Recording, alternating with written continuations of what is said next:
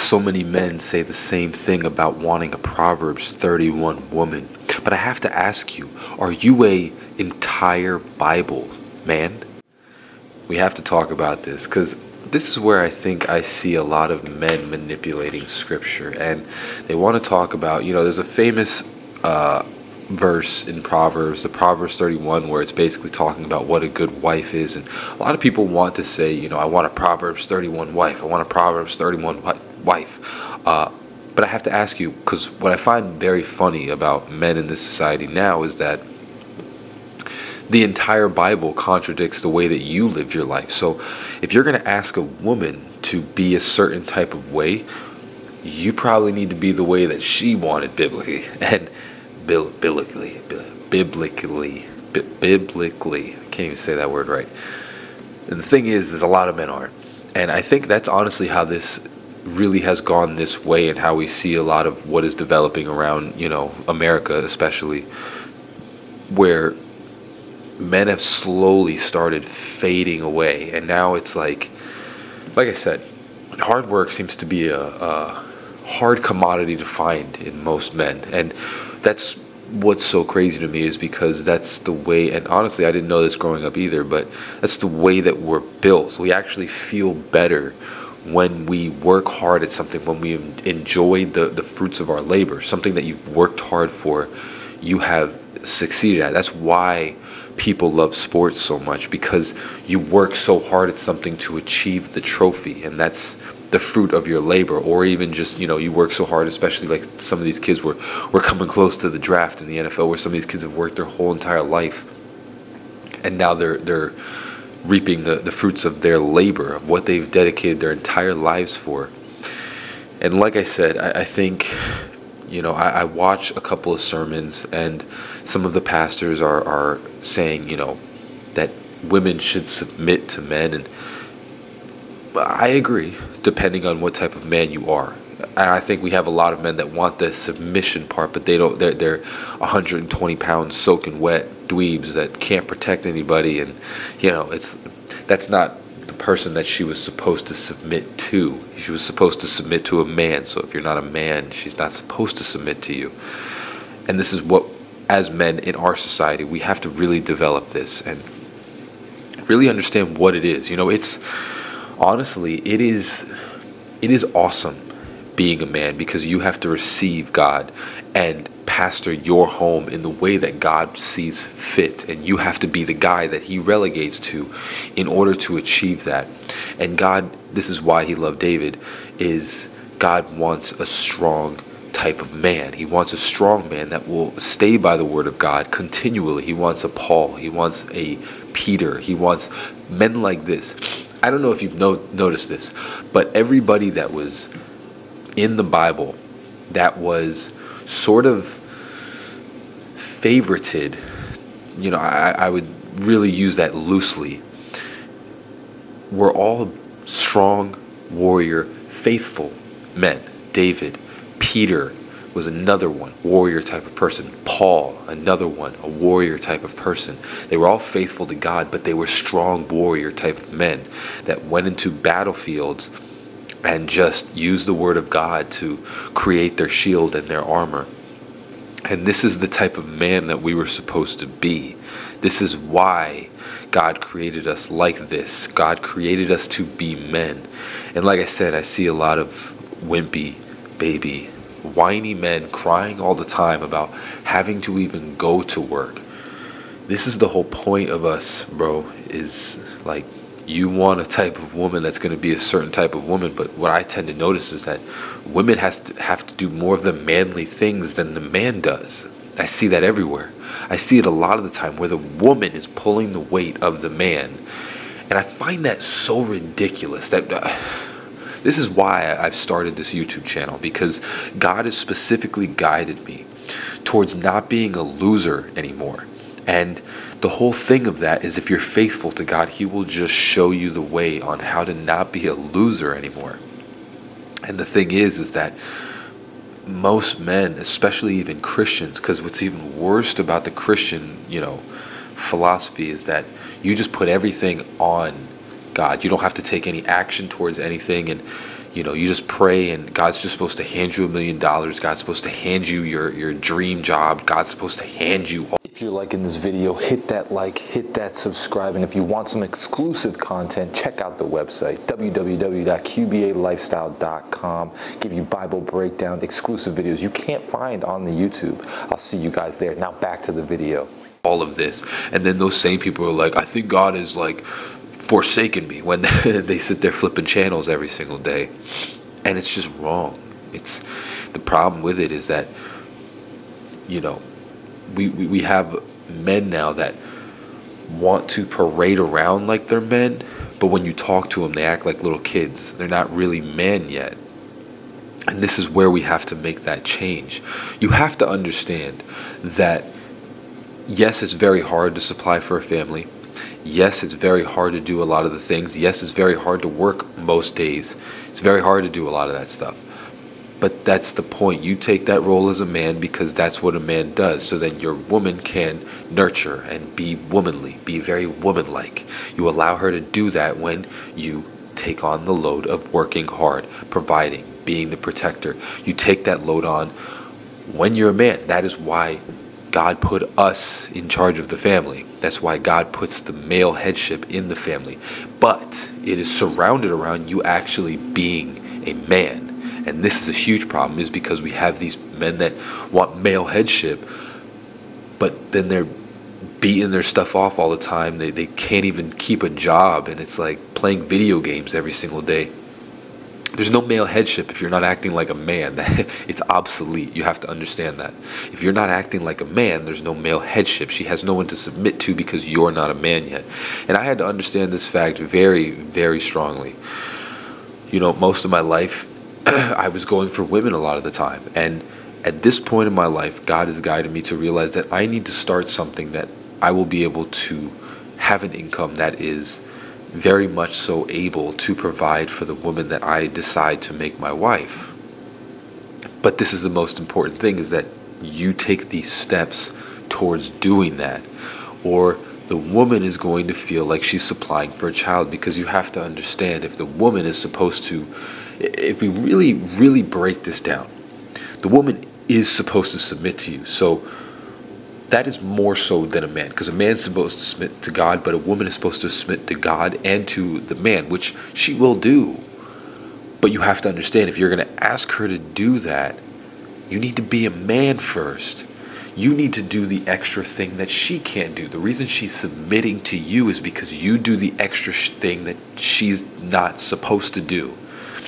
So you work harder, you work more hours, you protect and provide. Those are the things that the men bring to the table so that the woman can be a woman. She can submit, she can nurture, she can develop. It's not two different things, but you bring to the table what you bring, and she does what she brings. But again, like I see, a lot of the, the you know, of course there are, are negative people to both sides. I understand that. But the keys to being a man are controlling your lust, pro, pro, uh, providing for your family, and protection. Those are the three keys to being a man. And most men don't have any of those. Maybe some of the time one, sometimes two. This is all three we were, we were supposed to have.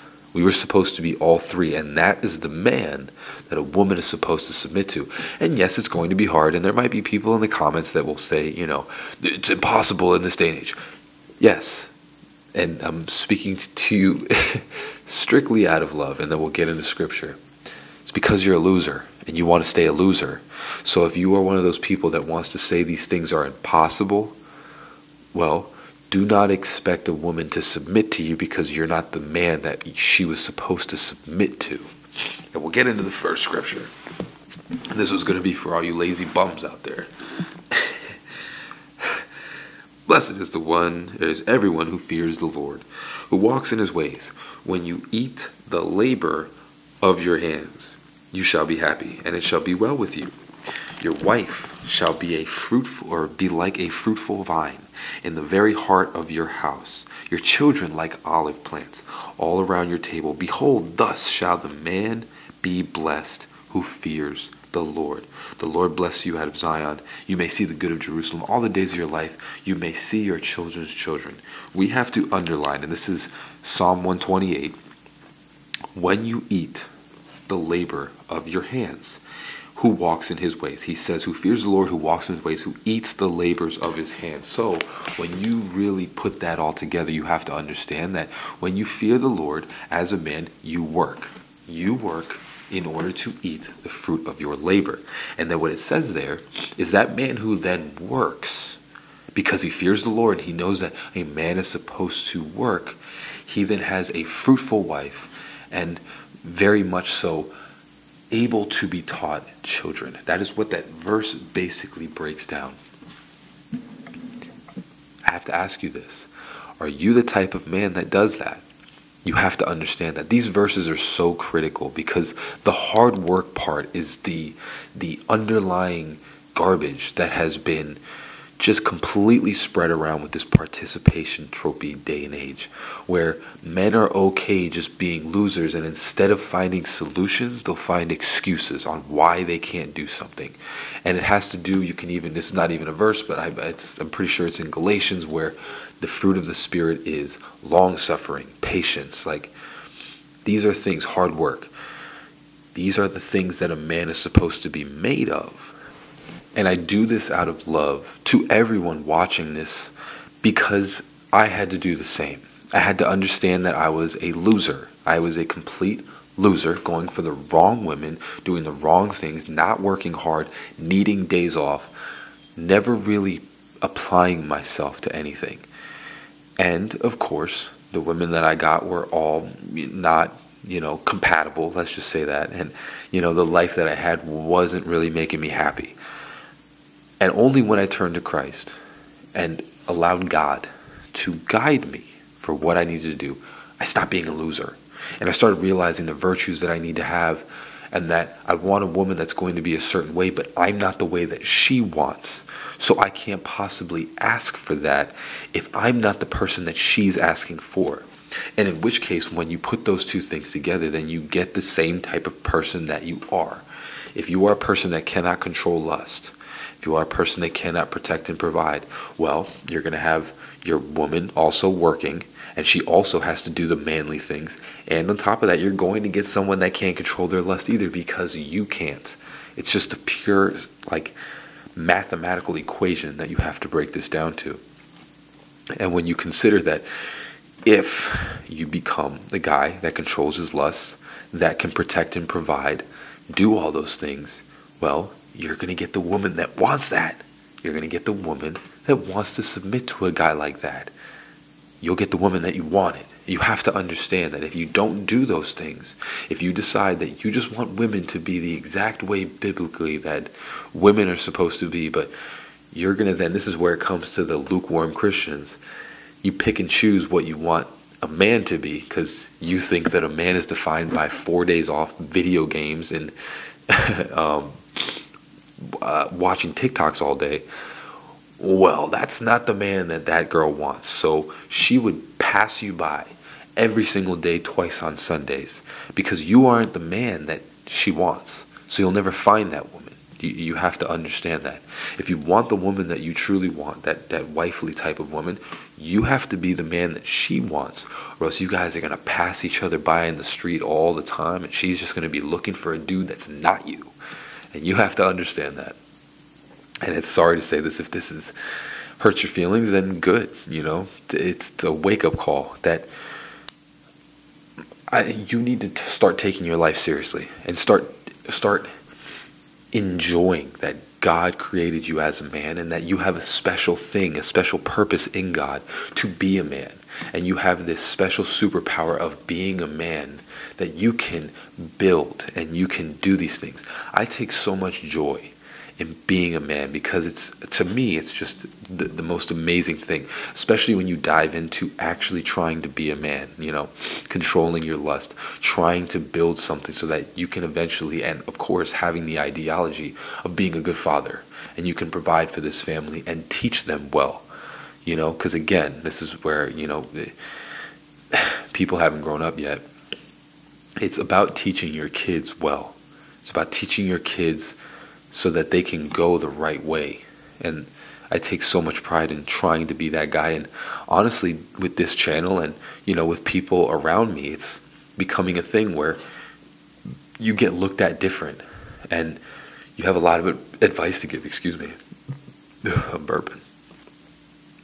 And you start feeling like a man because you have the Holy Spirit guiding you and it starts showing you what you need to be and what you need to do. And this was the clear fact of what I had to do.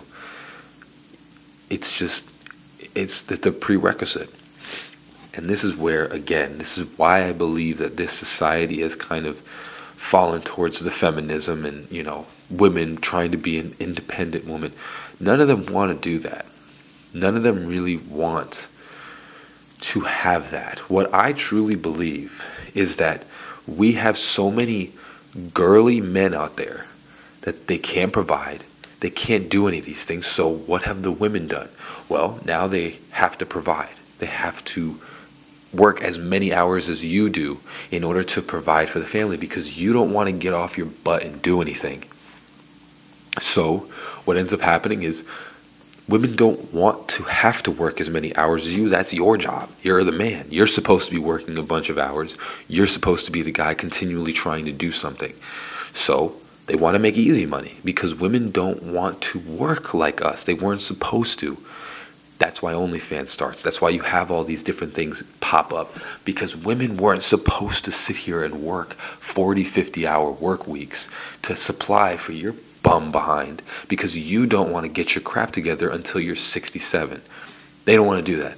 So then they go on these things and they find sugar daddies because that's the way a man was supposed to be. He was supposed to provide for her. He was supposed to build something or at least have a dream that you were building that allows the woman to know, hey, if he keeps knocking on this door, he's going to eventually get there. So I just have to support him. But the problem uh, I see is that most men don't even have a dream that they're going for. They just literally get home from work and play video games after their girlfriend or wife or whatever gets home from work and they expect her to wash the dishes and do all these different things. That's pathetic. That is truly pathetic. And this is why I think we have gone this route. And of course, it's morally and, and, and it's not the best choice either. Like, I'm not justifying it, but I, I'm saying this is probably why this happens. Because men were supposed to work to provide, women were supposed to submit and nurture. That's the way it was supposed to be. But if a woman has to work as much as you, and she has to do the same things as you, and you expect her to be also womanly, doesn't work like that. So we have to understand this as men. We have to understand that we need to take some time to really develop ourselves in something and develop it so that maybe you don't have a million dollars, but you got something that you're going for. You got something that's going to turn you into something. And on top of that, you're controlling lust and doing all that stuff, waiting for marriage. That's what waiting for marriage does. You have something, you found what you want to do, and you start pursuing this so that you can start trying to make that income that you've always wanted to. You start pursuing this and stop pursuing the worldly things and you wait for the right woman. And when you have what you need and God thinks that you're ready, you find her and you can be the man that she wanted so that she can be the woman that she wants to be. So if you want to be that dude that sits there wondering why he can't find a good woman when he's sitting there playing Halo till four in the morning, chugging down M&Ms and Snickers bars drinking himself away at bars and taking whatever he can get because he doesn't want to get his crap together to become a man and start pursuing what he knows he needs to pursue so that he can provide and be in the lifestyle that he would like. We'll turn this video off. But if you want to be that dude that understands that maybe you need to take a year, two years, whatever it is, from everything else that's going on around, let Jesus drive the whip and start building something that you know you've always wanted to build so that you can have something that you can provide with in the future. But it starts right now. And you want to get to work. Instead of chasing women, chasing alcohol, chasing life, chasing memories, you start building a future now and allowing Jesus to throw that Holy Spirit right down into you and guide you so that you can know the right way. You can glorify God and He can turn you into the man that you always wanted to be so you can find that right woman for yourself. We'll keep watching. Oh, it's getting better. smells like hard work and determined, uh, determination, boys. Hit that like and subscribe if you like this video. As you can see, like I showed you, um, the website is going to be you have Bible breakdown, you have lifestyle articles that will help you out, you have what's the other thing? I forgot. Oh, the the recommended music so that you can get away from this secular crap and you can start listening to good music. You'll have that, and then if you want some more exclusive content, we'll have extra videos and all that. But that will be the membership that you will pay for. It will be nutrition articles, and you'll have exclusive videos on there. That'll be like the membership here on YouTube. I'll have a membership here, but it'll probably be cheaper on the website. So just want to get you over to the website. So go check it out, www.qbalifestyle.com. As always, guys, be the man that biblically you were, oh, I got that right, you were supposed to be. Don't be these whiny baby guys that want to sit here and play Call of Duty till 4 in the morning and then can't understand why they can't find a good woman. It's because you're not a man. You're still a little boy, and she don't want to supply for a little boy. She wants a man. That's what she wants. She wants a man that will lead. You can't lead while you're pretending to be Master Chief till 3 in the morning with your fat buddies. can't do that. As always, guys, praise God, love God. All the time, He's great. In Jesus' glory filled name. Love you all. Jesus is Lord. Peace.